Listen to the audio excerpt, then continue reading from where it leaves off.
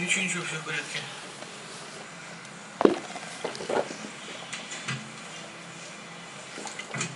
Разрешить, товарищ? Да, давай. Замдиректора химкомбината Самойленко Садись, садись. остановился в гостинице областного центра. Из города выпустили его беспрепятственно. А сейчас ведем плотное наблюдение. Ни с кем не связывался? Нет, ведет себя тихо, из номера гостиницы не не хочет светиться. Или ждет звонка. Может быть. А телефон его? А? Да, и мобильный, гостиничный. Хорошо. Хорошо. Ничего пока не предпринимайте. Только наблюдайте. Понял. Разрешите идти? Угу. Давай.